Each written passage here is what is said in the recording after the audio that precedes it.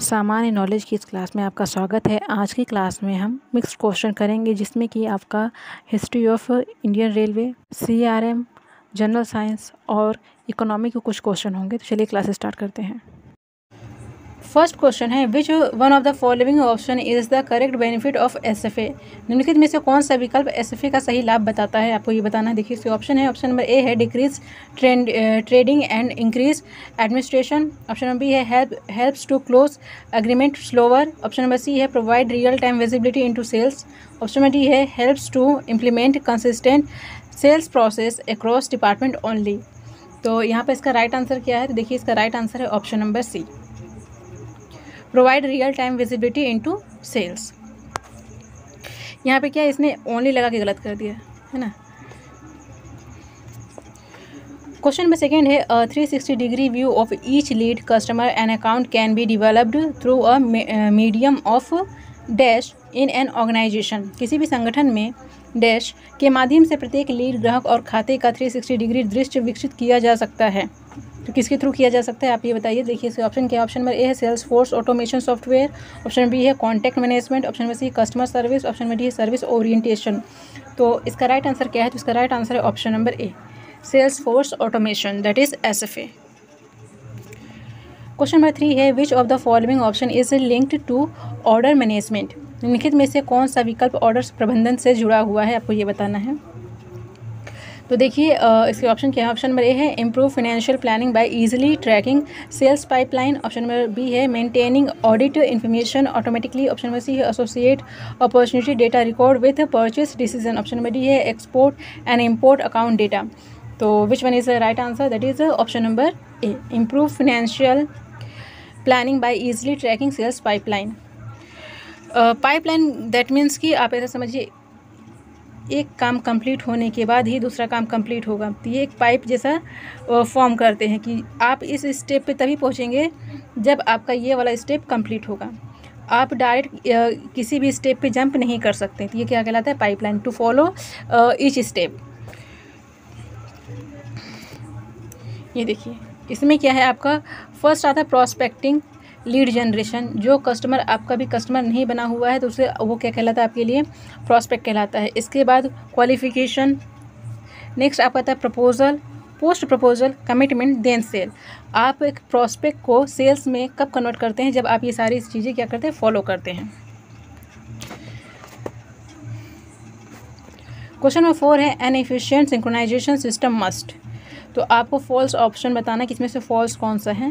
तो option number A है support large scale field implementation option number B है give flexible support for the server database option number C है be dependent on the database D number है easy to use तो इसका right answer क्या है? तो इसका राइट आंसर है option number C be dependent on the database ये क्या है? गलत है.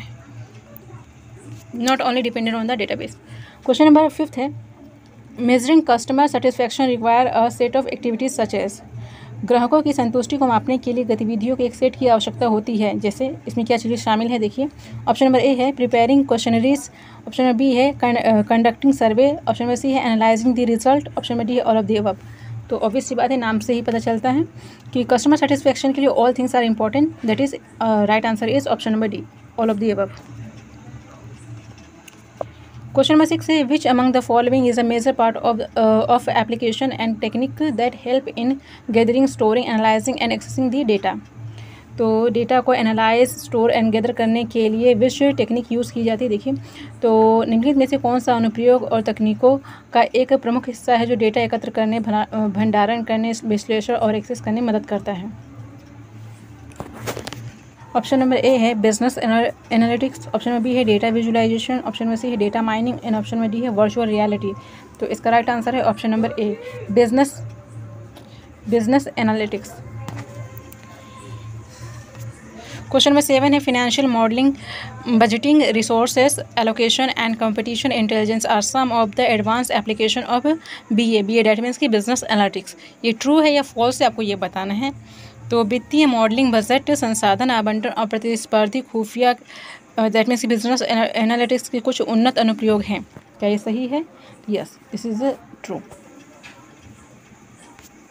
question number eight है विजुलाइजेशन और data visualisation is a dash tool that helps in interpreting data using visual और विजुअल्स और इमेजेस विजुअलाइजेशन या डेटा विजुलाइजेशन एक डैश टूल है, जो विजुअल और या फिर इमेज का उपयोग करके डेटा की व्याख्या करने में मदद करता है। तो किस टाइप का टूल है तो दैट इज़ बिज़नेस एनालिटिक्स ठीक है? अभी हम बिज़नेस एनालिटिक्स ही पढ़ रहे हैं। Next question number nine in dash device connect directly synchronize with their owners data on a PC dash में डिवाइस सीधे कनेक्ट होता है और एक पीसी पर अपने मालिक मालिकों के साथ डेटा का सिंक्रोनाइजेशन करता है। तो कौन सा ऐसा सॉफ्टवेयर है? देखिए इसके ऑप्शन के option number A software based synchronization option number B है web based portal synchronization, option number C है enterprise space synchronization, option number D है डॉकिंग सिंक्रोनाइजेशन। तो इसका राइट आंसर क्या है? इसका right answer option number A software based synchronization. Question number ten है the data warehouse is तो data warehouse क्या है? मतलब कि उसमें जो डेटा होता है, उस पर आप कौन सा ऑपरेशन परफॉर्म कर सकते हैं? तो देखिए ऑप्शन नंबर ए है read only option number B है write only option number C है read write on both and option number D है नन तो इसका राइट आंसर क्या है? तो इसका right answer option number A read only आप डेटा वेयर हाउस में से डेटा रीड कर सकते हैं, उसमें चेंजेस नहीं कर सकते हैं। Option number sorry question number eleven है expansion of D S S in D D W W मतलब कि data warehouse S dash तो डी एस एस का आपको फुल फॉर्म बताना है सिंपल सा। तो देखिए, इसके ऑप्शन के ऑप्शन नंबर ए है decision support system option number B है decision single system option number C है data stable system option number D है डेटा सपोर्ट सिस्टम तो इसका राइट आंसर क्या है? इसका राइट आंसर है option number A decision support system तो डिसीज़न सपोर्ट सिस्टम मतलब कि ऐसा सिस्टम जो किसी भी डिसीज़न मेकिंग में सब क्या करें? सपोर्ट करें। क्वेश्चन नंबर ट्वेल्व है horse power of locomotive of freight train S मालगाड़ी के लोकोमोटिव का जो हॉर्स पावर है वो कितनी है? देखिए sir option option number A है twenty five hundred H P option number B है twelve hundred H P option में सी है twelve thousand H P option में डी है टेन थाउज़ेंड एच पी जिसका राइट आंसर क्या है? जिसका right answer option number C twelve thousand H P question number thirteen है इजियर सॉरी ईस्टर यहाँ पर ना एन होना चाहिए, ठीक है? ईस्टर्न है ये। Eastern and western corridor are meet together at which station which section तो मतलब क्या है? ईस्टर्न और क्या है? पश्चिमी गलियारे एक साथ किस खंड पर मिलते हैं? आपको ये बताना है। यानी पूर्वी और पश्चिमी गलियारे एक साथ किस खंड पर मिलते हैं? तो देखिए ऑप्शन नंबर ए है रे, रेवाड़ी ऑप्शन नंबर बी है खुर्जा ऑप्शन नंबर सी है दादरी ऑप्शन नंबर डी है मदार। तो इसका राइट आंसर क्या है? तो इसका राइट आंसर है option number B Khurja. Khurja पे जो आपका ईस्टर्न है और जो आपका वेस्टर्न है वो क्या है? मिलते हैं। क्वेश्चन नंबर फोर्टीन है Dadri to Rewari is a new line in western DFC and length of it Dadri से रेवाड़ी पश्चिमी डीएफसी में नई लाइन है इसकी लंबाई कितनी है आपको ये बताना है। जो दादरी से रेवाड़ी है इसका हम्म, देखिए ऑप्शन नंबर ऑप्शन क्या है ऑप्शन नंबर है two hundred fourteen kilometre option number B है one forty one kilometre option number C है वन फोर्टी किलोमीटर और ऑप्शन नंबर डी है वन फोर्टीन किलोमीटर जिसका राइट आंसर क्या है जिसका राइट आंसर है option number B one forty one kilometre question number fifteen है western corridor is pass through five state name of दोस्त are not in list पश्चिमी गलियारा पाँच राज्यों से होकर गुजरता है तो उस लिस्ट में कौन से राज्य का क्या है? नाम नहीं है तो बताइए। तो ऑप्शन नंबर ए है, Rajasthan UP option number B है Gujarat, Haryana option number C है महाराष्ट्र ऑप्शन नंबर डी है मध्य प्रदेश। तो इसका राइट आंसर क्या है? तो इसका right answer option number D Madhya Pradesh. यहाँ से क्या है? वेस्टर्न डी नहीं गुजरती है। क्वेश्चन नंबर सिक्सटीन है, eastern DFC from where to where जो ईस्टर्न डीएफसी है, वो कहाँ से कहाँ तक चलती है तो देखिए, इसके ऑप्शन नंबर ए है option number A Punjab to west west Bengal option number B है Ludhiana to Dankuni option number C है A and B both and option number D है बी ओनली इज़ ट्रू तो इसका right answer क्या है? तो इसका right answer है option number C A and B both जो आपका लुधियाना है, कहाँ है? पंजाब में, जो डनकुनी कहाँ है? वेस्ट बंगाल में है। क्वेश्चन नंबर सेवेंटीन है eastern DFC covers total six state and which state cover longest route पूर्वी गलियारा कुल छः राज्यों से होकर गुजरता है तो आपको बताना है कि वो कौन सा राज्य जिसमें वो लंबा मार्ग कवर करती है? तो देखिए ऑप्शन क्या है? ऑप्शन नंबर ए है Punjab option number B Uttar Pradesh option number C है west Bengal option number D है झारखंड। तो इसका राइट आंसर क्या है? इसका राइट आंसर है option number B Uttar Pradesh. तो कितना लेंथ कवर करती है? देखिए यहाँ पर मैंने आपको एक लिस्ट प्रोवाइड करी है।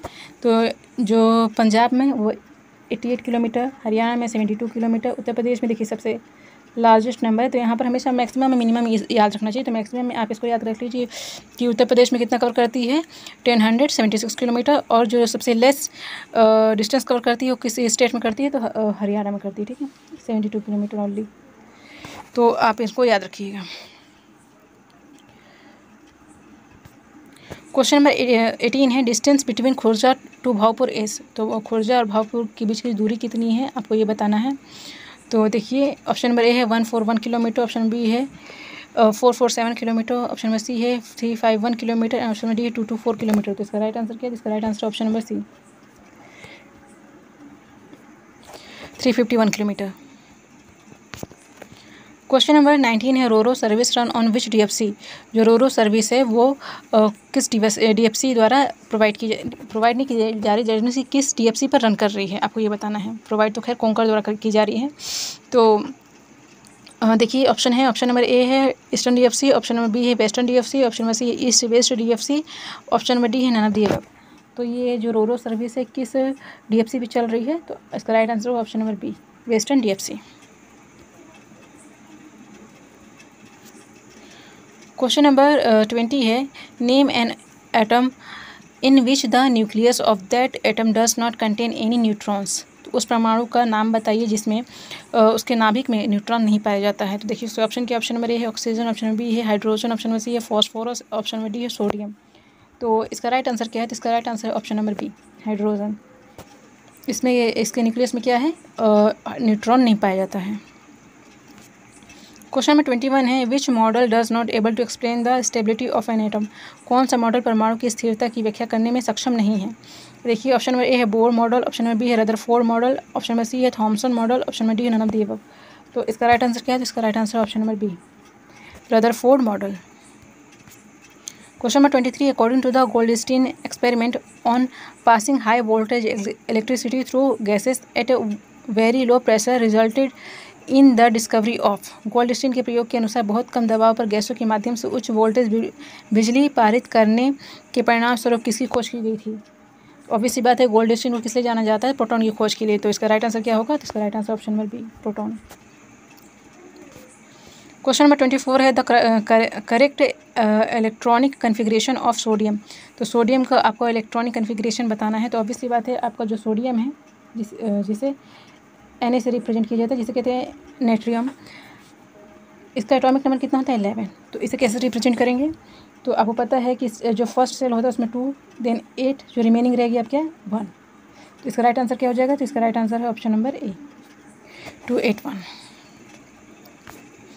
question number twenty five है एन इलेक्ट्रिक मोटर कन्वर्ट तो इलेक्ट्रिक मोटर किसको कन्वर्ट करता है? तो किसको, किसमें कन्वर्ट करता है? तो देखिए ऑप्शन नंबर ए है mechanical energy to electrical energy option number A thermal energy into electrical energy option number C है electrical energy into mechanical energy option number D है radiant energy into electrical energy तो electric motor है तो ये electrical energy को किसमें convert करेगी? Mechanical energy में. दैट मीन्स की option number C is right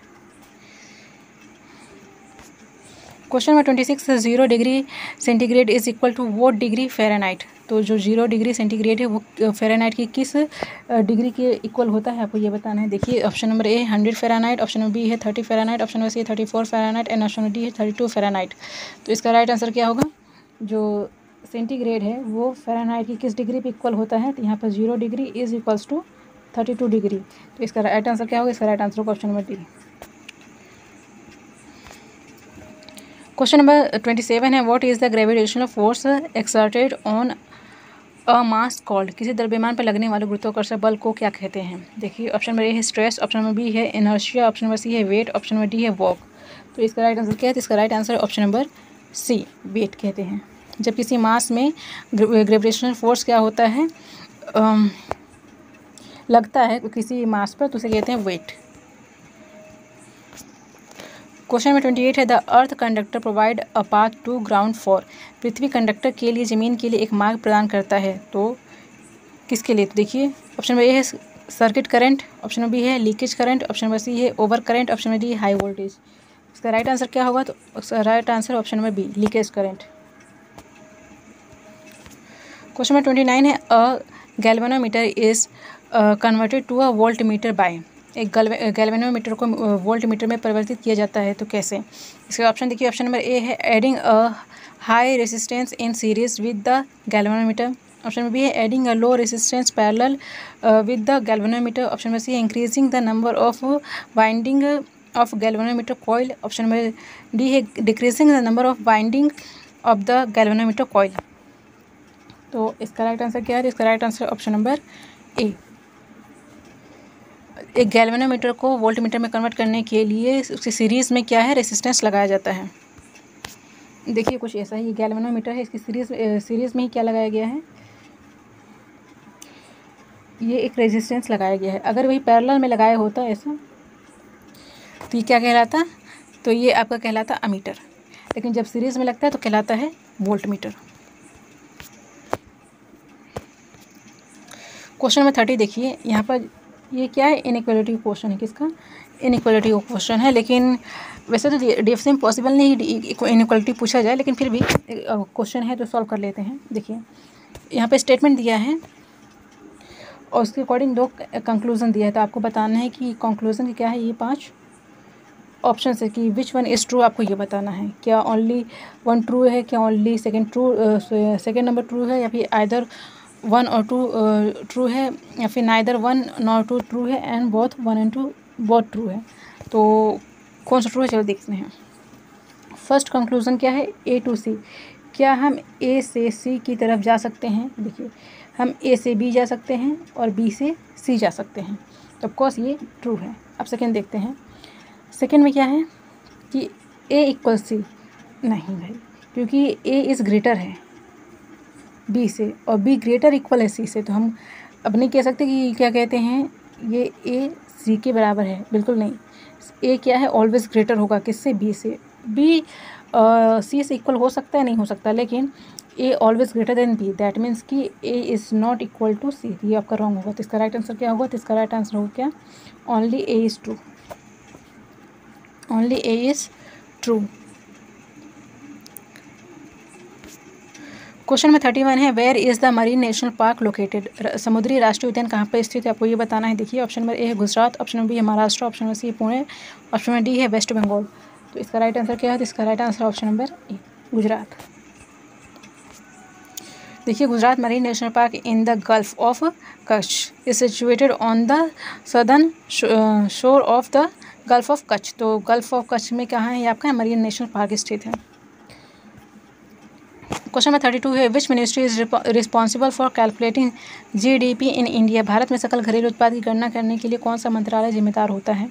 तो देखिए ऑप्शन नंबर ए है ministry of finance option number B है ministry of commerce and industry option number C है ministry of central statistical and program implementation option number D है ministry of consumer affairs इसका right answer क्या है? इसका right answer है option number C ministry of central statistical and program implementation question number thirty three है what base year is use to calculate per capita income in India Bharat में प्रति व्यक्ति आय की गणना करने के लिए किस आधार वर्ष का उपयोग किया जाता है?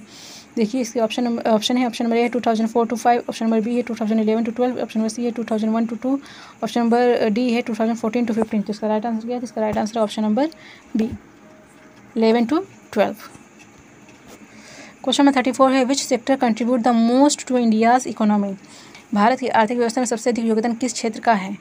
ऑप्शन नंबर ए है service sector, option number B है manufacturing sector option number C agriculture sector option number C है स्मॉल स्केल इंडस्ट्रीज़ तो इसका राइट आंसर क्या है? इसका राइट आंसर है option number A service sector